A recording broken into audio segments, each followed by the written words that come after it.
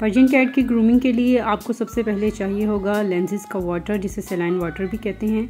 आपने cosmetic cottons लेनी है, आम कॉटन नहीं लेनी, उससे रैशेज़ होते हैं। कॉस्मेटिक कॉटन लीजिए, उसमें आप लेंसेज का वाटर थोड़ा सा डिप कीजिए और उसको आराम से स्मूथली आइस को साफ़ कर लें। इससे जो है डर्ट बहुत ही अच्छे से क्लीन होती है और किसी भी किस्म के मार्क्स जो हैं आई के कॉर्नर्स में नहीं रहते हैं। तो सेलाइन वाटर बहुत अच्छा रहता है। क्लीनिंग के लिए आप इसका यूज़ कीजिए। इसके बाद जो है हम बेबी पाउडर या कैट का ड्राई क्लीन पाउडर आपको मार्केट से मिलेगा। वो आप यूज़ कर सकते हैं। बेबी पाउडर आपको कहीं से ही मिल जाएगा। थोड़ा सा मैं इस, जो है डिबिया में डाल दिया है। अब, जो मेकअप ब्रश होता है, वो मैं लूँगी। लाइट सा मैं इसमें पाउडर लगाऊँगी और आई के कॉर्नर्स में मैं लगा दूँगी क्योंकि जो इनकी आई से डिस्चार्ज आता है, वो यहाँ आकर जो है जम जाता है और स्टेन्स छोड़ देता है। और हेयर यहाँ से फिर जो है उतरना शुरू हो जाते हैं या यहाँ पे बहुत ही बुरी तरह से स्टेन्स बनना शुरू हो जाते हैं।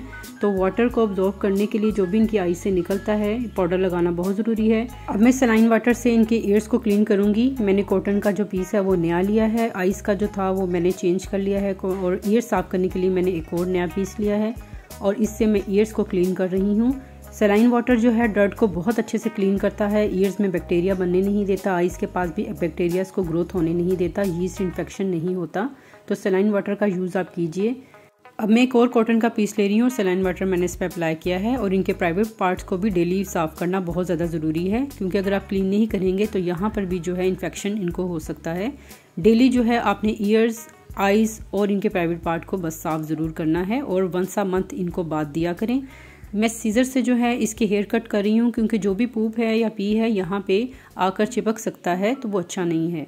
कैट के विस्कर्स आपने कभी भी कट नहीं करने, ये इनके सेंसेस होते हैं, कभी भी ये गलती ना कीजिएगा, वरना इनकी स्मेल की हिस्स इनकी जो हिस्स हैं, वो ख़त्म हो जाती हैं। इनके हेड पे जो हेयर हैं, वो वाइट कलर के आपको लॉन्ग निकले हुए नज़र आएँगे, वो आपने कट करने हैं। उससे इनकी हेड की बड़ी ब्यूटी आती है और ब्रॉड लगता है हेड और ख़ूबसूरत लगता है, वो आप कट कीजिए।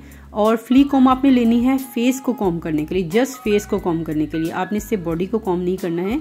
बड़े नैरोज के जो है पिंस होते हैं तो वो बॉडी पे करेंगे तो बाल टूटेंगे, लेकिन फेस के बहुत शॉर्ट होते हैं तो आप कर सकते हैं।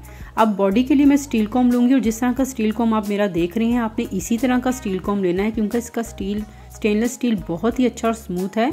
जो दूसरे स्टील कॉम मार्केट में अवेलेबल हैं, जिसके साथ हैंडल्स बने हुए हैं वो अच्छे नहीं हैं और बालों को बहुत ज़्यादा तोड़ते हैं और पेट को ग्रूम करते हुए तकलीफ़ भी बहुत ज़्यादा होती है। आपने सिर्फ़ यही वाला स्टील कॉम लेना है जिस तरह से मैं कर रही हूँ और इसी तरह इसका सारा एरिया जो है आपने एक बार दिन में कॉम कर लेना है।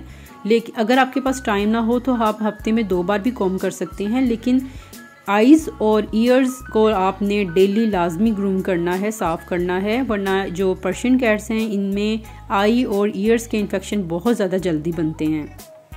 कॉम करने से हेयर फॉल भी नहीं होता है। जो भी इनके डेड हेयर्स होते हैं, कॉम के अंदर आ जाते हैं और इस तरह इनका हेयर फॉल भी आपको फील नहीं होगा।